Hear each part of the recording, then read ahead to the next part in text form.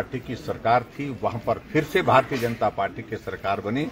सभी को बहुत बहुत बधाई और सभी प्रदेश के लोगों ने, जिनने भारतीय जनता पार्टी के ऊपर जो अपना विश्वास जताया, नीतियों को समर्थन देते हुए आशीर्वाद दिया, वहाँ की जनता का भी मैं आभार व्यक्त करता हूँ। एक बार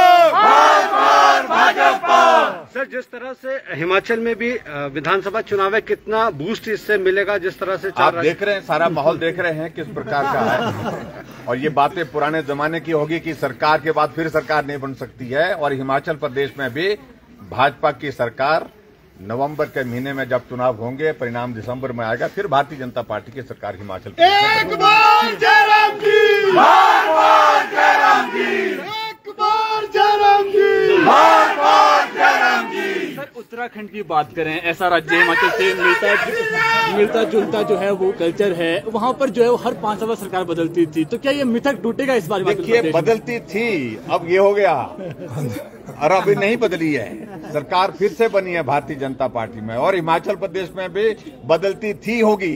और हिमाचल प्रदेश में फिर से भारतीय जनता पार्टी की सरकार बनेगी। ये सारी चीज़ों की शुरुआत अब की बार होगी। और कई बार ऐसा अवसर आता है कि नई शुरुआत होती है और निश्चित रूप से हिमाचल प्रदेश में भी अब की बार भारतीय जनता पार्टी की सरकार बनेगी और नई शुरुआत sir EVM sir. Sir EVM का सर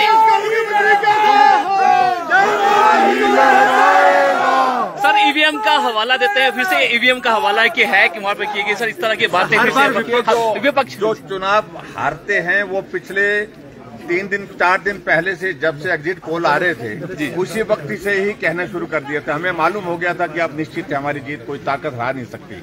और परिणाम उसके अनुरूप आया। एग्जिट पोल के हिसाब से आपने देखा चाहे यूपी की बात है चाहे उत्तराखंड की बात है चाहे गोवा की बात है चाहे मणिपुर की बात है सभी जगह भारतीय जनता पार्टी जो है वो यहाँ तक पंजाब भी पंजाब में भी एग्जिट पोल के जो परिणाम जिस प्रकार से सामने आ रहे थे रुझान जो आ रहे थे उसके अनुरूप रहा। तो सर जश्न का दौर अब हिमाचल में स्टार्ट हो गया जश्न तो पूरा देश मना रहा है। हम भी उसमें शामिल हैं लेकिन हम हम उत्साहित होकर के अब और ज़्यादा मेहनत करेंगे परिश्रम करेंगे। जब उत्तराखंड उत्तर प्रदेश मणिपुर गोवा में भाजपा की सरकार के बाद फिर भाजपा की सरकार बन सकती है तो हिमाचल प्रदेश में तो पक्का ही बनेगी। एक बार भाजपा!